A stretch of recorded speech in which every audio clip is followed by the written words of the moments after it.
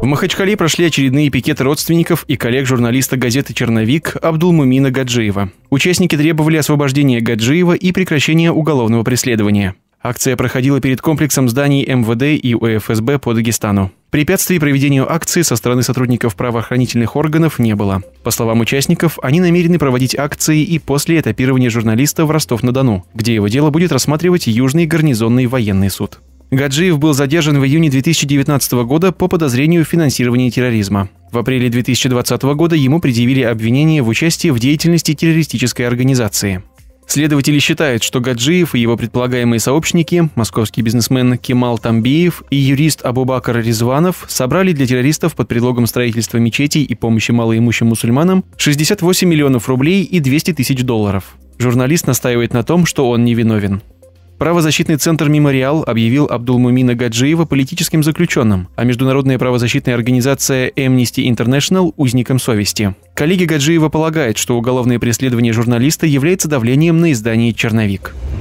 В Стамбульском районе Авджилар местные жители нашли тело младенца близ мусорного контейнера. Первой находку обнаружила одна из жительниц микрорайона Гюмышпала. Женщина была шокирована увиденным. В пакете лежал завернутый в простыню мертвый новорожденный ребенок. Правоохранители, согласно камерам наблюдения, вышли на след матери. Горе-мать, 26-летняя жительница Стамбульского района Бешикташ по имени Гурбет, вскоре была задержана. Согласно судмедэкспертизе, младенец умер от переохлаждения. В связи с этим женщину ожидает суд по обвинению в убийстве. Турецкие СМИ сообщают, что на прошедшей неделе полицейские города Сивас также раскрыли подобные преступления. Была задержана мать двоих детей, 35-летняя женщина, которая оставила новорожденного посреди улицы. В университете Аль-Асхар не прекращаются бурные дебаты. Профессор исламской философии Амна Нусейр выступила в поддержку межконфессиональных браков между мужчинами-немусульманами и мусульманками. Нусейр аргументирует это тем, что в Коране на это нет прямого запрета. Главное, мужчина не должен мешать жене практиковать ее веру. Писание запрещает выходить замуж за идолопоклонников. В отношении христиан и иудеев строгого запрета нет. Профессор призвала исламских ученых пересмотреть вопрос подобных браков. После заявлений Нусейр последовали фетвы, запрещающие создание семьи с любыми немусульманами. Однако реформистка настаивает на своем. Некоторым женщинам приходится жить с сожителями не-мусульманами без заключения брака, так как религия запрещает такие браки. Мы должны обновить свое понимание религии, оно должно идти в ногу с переменами в жизни. За последние дни тысячи египтян стали участниками онлайн-дискуссий на эту тему. Так или иначе, официальная позиция Аль-Асхара остается четкой. Мусульманкам не следует выходить замуж за иноверцев. Парламент Ирана проголосовал за проект по наращиванию добычи урана. Документ поддержали 248 депутатов из 290. Во вторник, 1 декабря, закон вступил в силу. Таким образом, страна постепенно отходит от соглашения с мировыми державами о прекращении ядерной деятельности, подписанного в 2015 году. Согласно документу, иранцы смогут производить и накапливать в год 120 килограммов урана, обогащенного до 20%. Также будут задействованы более продвинутые центрифуги.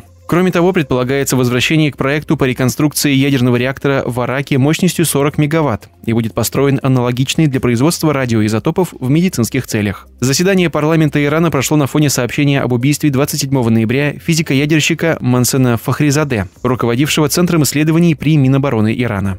В Тегеране считают, что к убийству физика-ядерщика Мансена Фахризаде причастен Израиль. Западные разведки сообщают, что Фахризаде был связан с иранской ядерной программой и, в частности, работал в рамках проекта 111, проекта по созданию ядерной бомбы. Министерство обороны Азербайджана опубликовало на своем сайте видео, где военнослужащие водружают флаг страны в Лачинском районе, оккупированном Арменией в 1992 году. Передача района реализована в соответствии с трехсторонним соглашением о прекращении огня в Нагорном Карабахе, подписанным лидером Азербайджана, России, Армении. Президент Азербайджана Ильхам Алиев поздравил народ с историческим событием. Мы вернули Лачинский район без единого выстрела. Мы принудили врага к этому.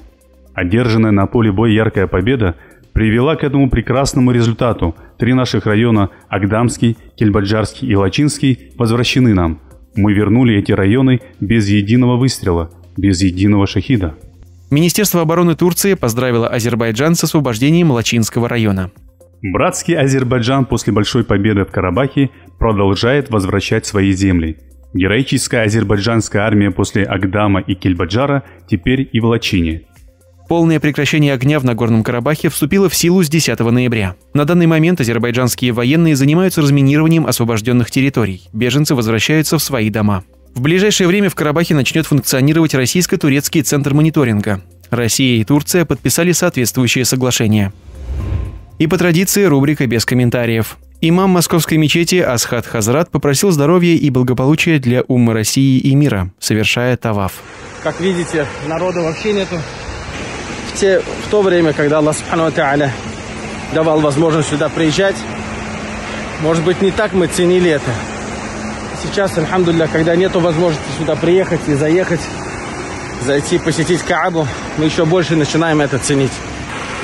Прошу Всевышнего Аллаха Субхану чтобы принял от нас наше поклонение, чтобы Аллах Субхану был доволен нами, всеми мусульман России, для всех мусульман России, всех мусульман мира, чтобы Аллах Субхану дал баракат, защитил, иншаллах, от всех болезней, которые сейчас, коронавирус и другие болезни, чтобы Аллах Субхану дал благодать и стойкости на его пути. Самое, что большое может попросить раб Аллаха от Всевышнего Аллаха Субхану это табата аля дин, это стойкость на его религии.